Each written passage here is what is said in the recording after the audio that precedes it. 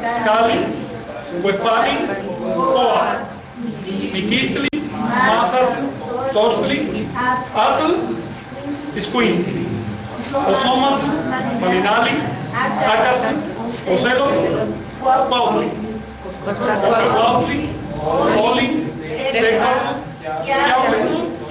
Xochitl. Entonces, si un cargador, si un año se llama Cali, ¿cómo se llamará el siguiente? Si un año se llama casa, ¿cómo se llamará el siguiente? A ver, si un año se llama casa, ¿cómo se llama el siguiente año?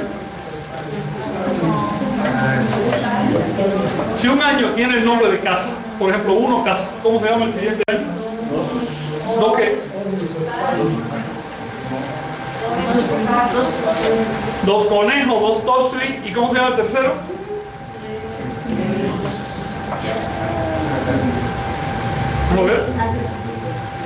Tres cañas, obviamente, y el otro. Cuatro. Tecpas. Entonces, solo cuatro, son, ¿cuá- ¿cuáles son los cuatro cargadores si el primero es casa? A ver, casa, y Tecatl. Y si el primer año de una serie es Zipatli, ¿cómo se llama el segundo? Mira aquí, si el primero es Zipatli, allá arriba, el segundo va a estar a 5 tonales. Y se llama Miquis. Y el tercero va a estar a 5 tonales y se llama Osomatl. El otro a otros 5 después y se va a llamar Coscacuautl. Y digamos, para ratificar, si un año de una serie, por ejemplo, como el que usan en este momento solo los mayas, que fueron los que heredaron, se llama lagartija, ¿cómo se llama el siguiente año?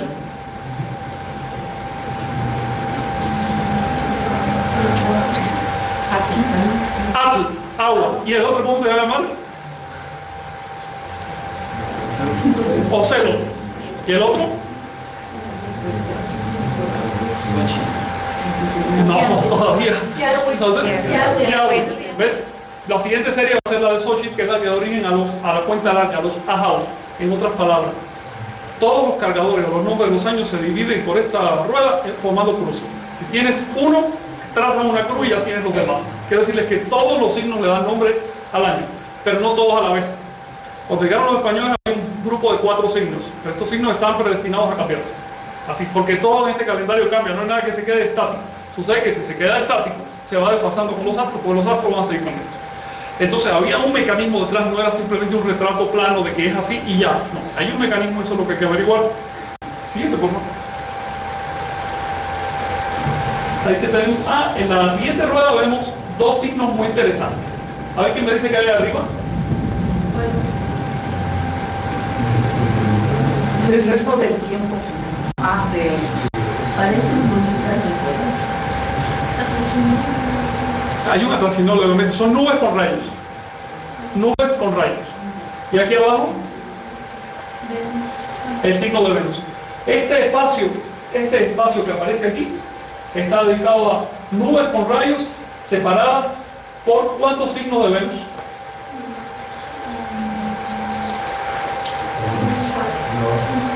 Es ese cuadrante que ven ahí, con un punto arriba. A ver, uno, dos, tres y cuatro. Y cuatro más, ocho. ¿Qué significan ocho signos de Venus en este anillo? ¿Qué tiene que ver ocho con Venus? Exacto. Que por una de esas rarezas cósmicas impresionantes, ocho años terrestres equivalen a cinco años venusinos, cinco años aparentes de Venus. Ahí tiene 584 días que dura el año aparente. Por 5 es igual a 365 por 8.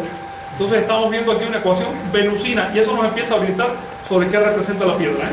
Muy rápido, por supuesto, pero es para que tengan una idea más o menos de su simbolismo. Hay una ecuación venusina en este, en este anillo. Eh, por más señales están viendo aquí, este signo está formado por un, a ver, ese 5, ¿cómo se llama? Quincunce, o ¿cómo le llamaban en náhuatl? Teo, Teocuitla. Y encima, tres puntos. Y encima otro punto separado. En mi opinión esto se lee así. 8 y 5 forman unidad. Es la unidad de 8 y 5. Creo que esa es la manera de leer eh, este signo. Se puede leer también como números ordinales y entonces nos está hablando del ciclo de creación del equinoccio, pero ya son muy hipotéticos. La siguiente, por favor. Oye, mira, tengo que alguien Muy bien. ¿Está abierta la puerta? ¿Está abierta la puerta? ¿Sí? Vaya, ya. Bien. ¿Qué tenemos acá entonces? Fíjense que le traje un acercamiento del anillo exterior. El anillo exterior tiene en su centro un conjunto de recuadros con glifos de llama. ¿Mm? Termina en un conjunto de qué? A ver, hay acá arriba, ¿qué es? Cascabeles atados. Se representan cascabeles de serpiente, son serpientes, ¿no? Serpientes de fuego. Y esto, cabezas de serpiente. Pero estas cabezas terminan en un cuerno cada una con siete estrellas. ¿Qué representa ese cuerno o esa espiral con siete estrellas? Es el glifo, no de la constelación, porque no hay constelación, del cúmulo de las playas. ¿Qué es el glifo náhuatl? Y en náhuatl se llama Tianquistri. Pero este es el glifo maya, y en maya se llama Sap. No es que sea específicamente maya o específicamente náhuatl, es que Sap quedó más representado en la zona maya y Tianquistri más representado en la zona náhuatl, pero el hecho de que ambos estén en la piedra del sol nos dice que la información era la misma en todo el territorio. Entonces tenemos que hay una alusión a las playas. ¿Qué tiene que ver las playas con todo esto? Es, un detalle muy interesante. Fíjense que fuego nuevo. Según dicen los cronistas, el fuego nuevo se celebraba cuando las playas ascendían al centro del cielo. Realmente nunca se pegan, están como a 3 grados, pero bueno, a la vista parecen pegaditas. Y eso, ese día se usaba de señal. En ese momento se encendió una hoguera, obvio que era de noche. En este momento estaba ocurriendo el 19 de noviembre, pero cuando llegaron los españoles ocurría el 12. Cada 71, 72 años, pero 71 y pico se traslada un día ese evento. ¿Por qué se traslada? ¿Por qué se traslada? A ver. No quiero pasarle por encima la información. ¿Por qué si celebramos el ascenso cenital de una estrella hoy dentro de 71 años va a estar ocurriendo el día siguiente. Un desplazamiento terrestre. Porque obviamente la bóveda del cielo se va corriendo también, se corre muy lentamente, pero se corre, igual que se corre la, todo se corre, aquí no hay nada quieto. ¿Ves? Se corre de tal manera que hace un círculo completo. ¿En cuánto tiempo? 26 mil años. Si los divides entre los 365 días te da ese módulo de 71.18 años de corrimiento. Entonces, ¿qué significa?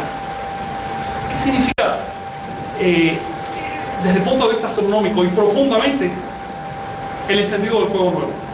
Estás conmemorando qué ciclo.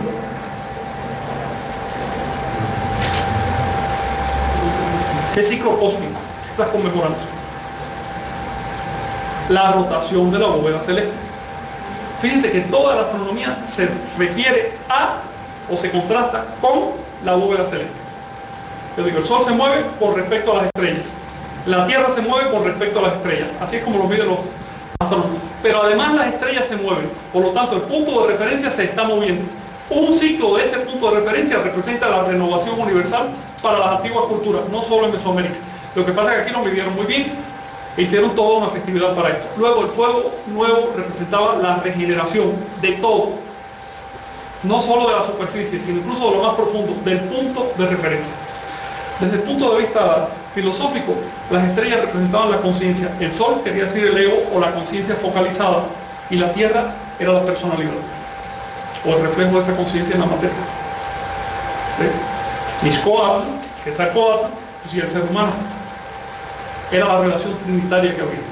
Entonces, pues hasta las estrellas se mueven.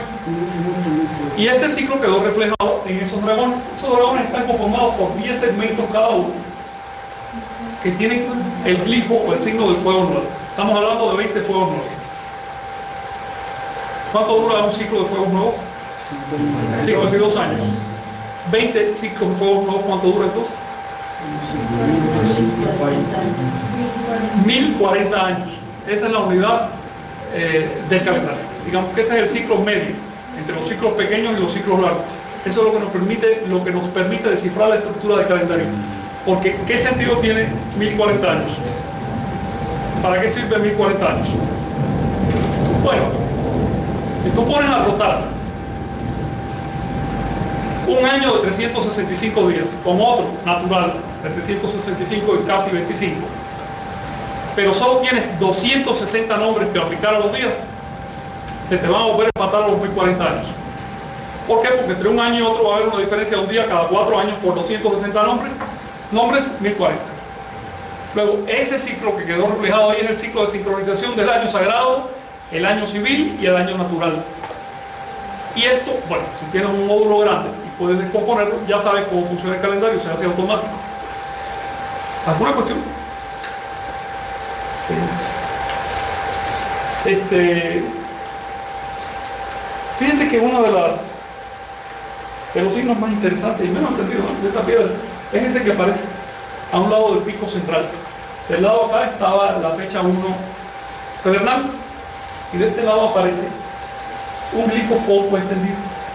Este glifo está tomado por una por una banda este, de la cabeza, miren el nudo acá y su elevación aquí.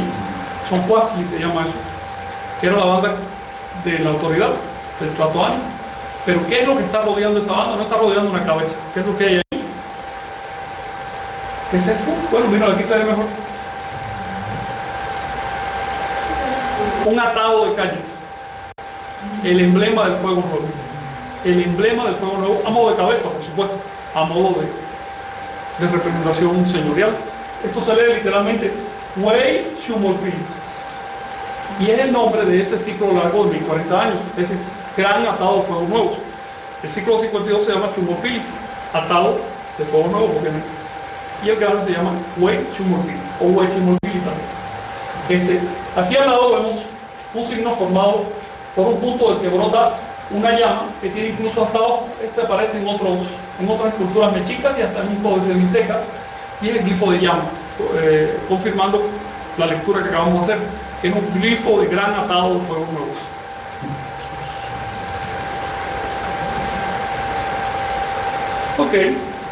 ¿Y qué tiene que ver el fuego nuevo entonces con esta cara? Fíjense que una de las cosas más sorprendentes de la piedra del sol es que, es que esa cara tiene algo en la frente difícil de interpretar porque da la casualidad que le dieron unos disparos y demás y se destruyó mucho. En la foto ordinaria de la piedra que se toma desde abajo con una iluminación desde arriba, las sombras nos da la impresión de que ahí en el centro hay como una especie de vasija con puntos. Pero cuando tomas una foto como esta de acá, desde el frente con una buena iluminación, cambia muchísimo eso. A ver la siguiente foto. Sí, cambia por completo. Ya no es esa vasijita que vimos aquí, sino un signo diferente. Caña. En la frente tiene algo muy importante, el signo dos cañas.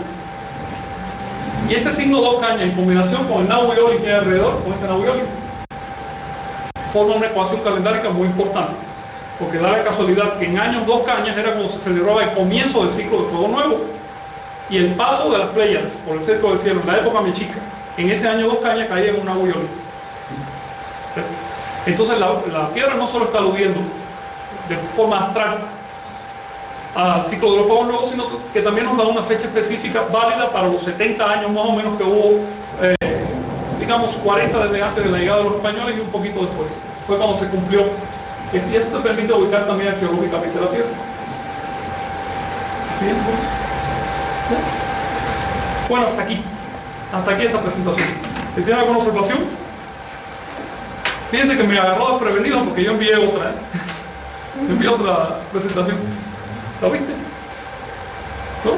Ah, bueno, yo les envío. Pero ni modo eso también tiene información útil para el día de hoy. Fíjense que lo que nos permite decodificar esta, esta piedra es eh, son las fechas astronómicas. Hay algo que les voy a decir. Cuando ven un movimiento mesoamericano, antes de buscarle significados esotéricos